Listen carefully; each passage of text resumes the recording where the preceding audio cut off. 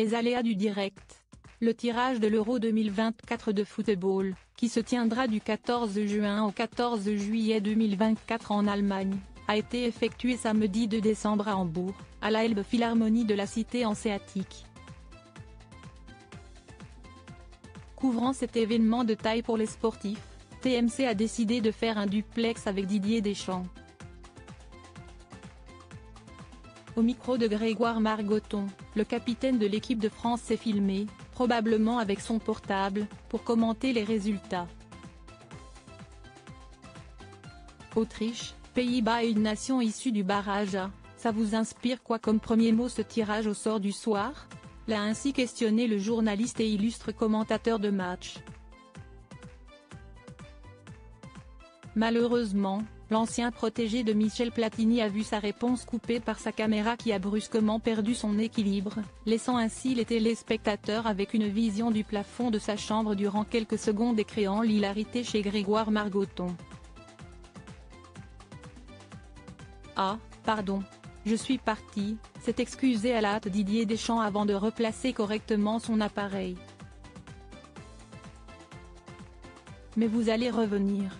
Là, c'est stable, l'a encouragé de son côté le célèbre binôme de Bichente Lizarazu.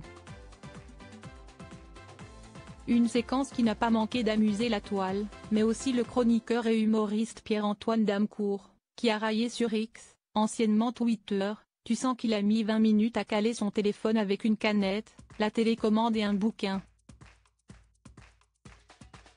Supérieur à supérieur à le fils de Didier Deschamps, Dylan, s'amuse avec sa compagne Mathilde, au Qatar, lors du match France-Angleterre cette bourde de Didier Deschamps moquée sur la toile si Didier Deschamps a essayé de maintenir, tant bien que mal, son portable en place samedi 2 décembre lors de son direct sur TMC, l'ancien footballeur a aussi essayé de se rattraper il y a quelques années dans l'émission Canal Football Club, diffusée sur Canal en 2016.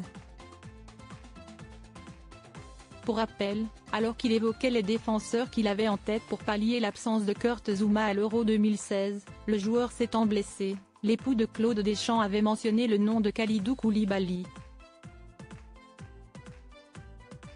Le hic, le dit joueur, ayant décidé de défendre les couleurs du Sénégal, ne pouvait donc que jouer pour l'équipe de France. Une bourde qui n'avait pas échappé aux internautes. Je pense qu'il a vu le UV Naples, il a tapé son nom sur Google, né dans les Vosges. Bingo, s'était moqué l'un d'entre eux sur X. Si j'ai bien tout compris, l'info de la soirée est que Didier Deschamps sera sélectionneur du Sénégal après l'Euro, avait raillé un autre. Article écrit en collaboration avec 6 médias Crédit Photo, capture d'écran TMC.